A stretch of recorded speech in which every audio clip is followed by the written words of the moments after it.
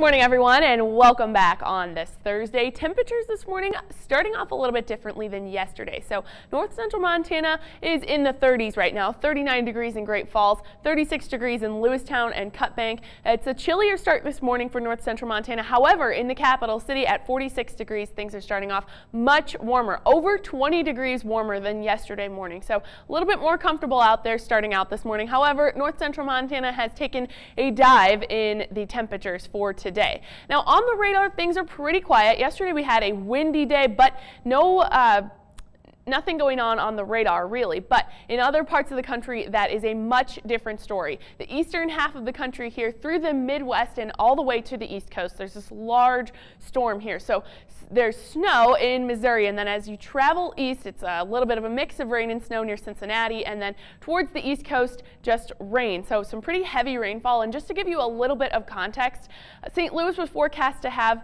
five to seven inches of snow, which is more than they received all of last winter. So it's a pretty significant snowfall for the Midwest. But moving back to Montana, we're not going to get any snow for today. There is this little bit of rain and snow to our north, but that is going to stay to our north and east. It's kind of pushing to the east, so we're not really going to see any of that snowfall moving into our area just yet. But the changes are coming tomorrow. So there is already a winter weather advisory in effect that will go in effect starting starting early tomorrow morning, so the overnight early morning hours.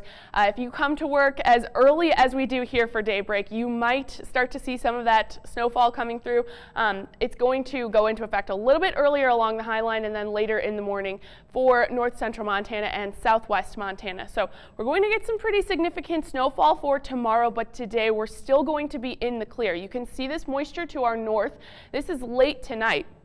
So it's pushing into our area late tonight, but it really won't get here until the overnight hours. So really no concerns about that for tonight, but tomorrow that is going to be pretty significant. Almost the entire state is going to get some of this snowfall and potentially a mix of rain and snow. And as this comes through, this is really going to cool down the temperature. So tomorrow we're not really looking at much of a warm up from the morning lows. So it's going to be a chilly end to the week and then heading into the weekend. While the snow will go off to our south and we're going to get some clearer weather for Saturday and Sunday, it's still going to stay pretty chilly here for the weekend. So a couple of bluebird days, but a little chilly out there for Saturday and Sunday. Now checking out how much snow we're going to get, as I mentioned, overnight tonight, we're really not going to see too much. So maybe a little bit in the higher elevations, but that's really going to come through later on in the day and especially in central and southwestern Montana around the capital, in the mountains around Helena and in the southwestern part of the state. That's going to be a little bit stronger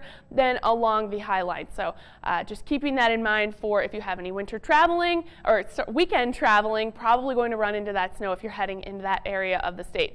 For today, highs are going to be um, in the 40s and 50s, a little bit warmer than yesterday. We've been on kind of this rising trend in terms of our temperatures, but tomorrow that is going to drop off as that cold front moves through. So you can see the low tonight in the capital city, 34 degrees. The high tomorrow is 34 degrees. So whatever jackets, sweaters, um, scarves you need in the morning, you're probably going to need them for the entire day tomorrow. It's going to be pretty snowy and chilly, but then heading into the weekend, we are going to get some sunshine, so that's good news. And then heading into the beginning of next week, temperatures kind of rising as we're heading towards Thanksgiving. Almost, or we're just a week away from Thanksgiving. I know. Can you believe it? No. Coming up fast. I'm excited. Hope, hope you started cooking already.